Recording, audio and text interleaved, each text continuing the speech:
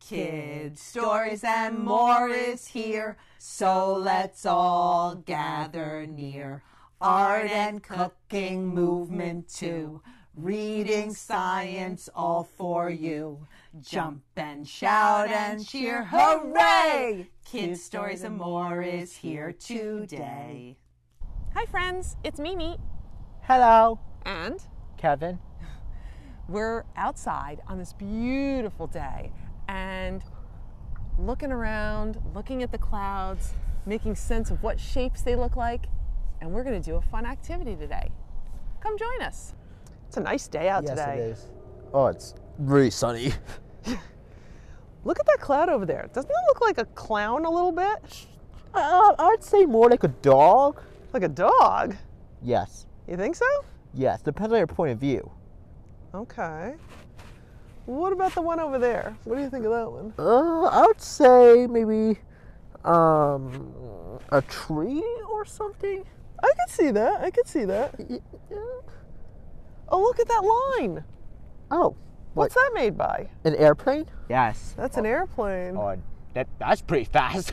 It is going fast. I wonder how fast airplanes go. Four, 400, four, 500, 400 miles per hour probably. Wow. Oh. I think it's called contrails. It's a what? It's a contrail.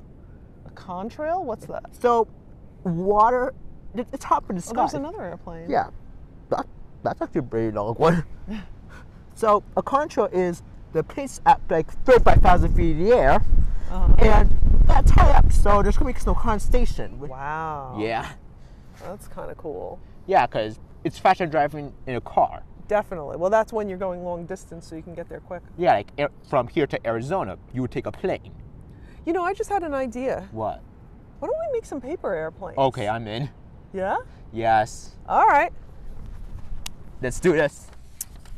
So you're going to use the whole paper. I think I'm only going to use a square of the paper. So I need to make. Perfect. I don't have a scissor, so I'm just kind of Oh, that's smart. Okay. doing one of these. Oh, what's yours gonna look like? I don't know. I'm trying. I haven't made a paper airplane in years. so We'll see how it comes out. I mean, they're relatively easy to make if you think about it. Yeah. Have you made a paper airplane recently? Yes. Like sometimes I make them on board, like you know, I just test them out, see how far they fly. Different variants on the wings. Okay, let's see now. Where's this got it? Okay.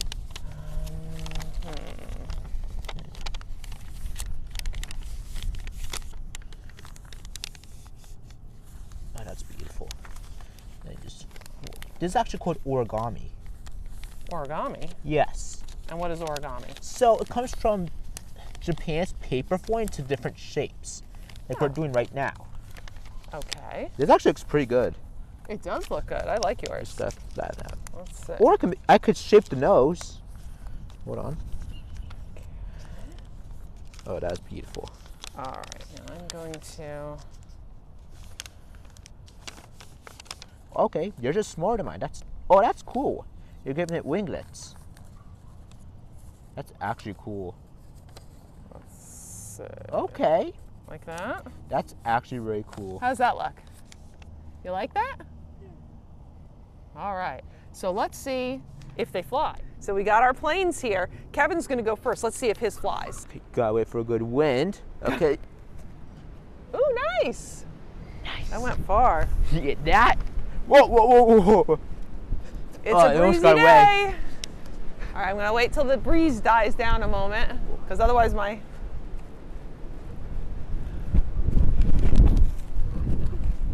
Okay. All right, so here I go. This is my airplane. It's smaller. Let's see if it can fly.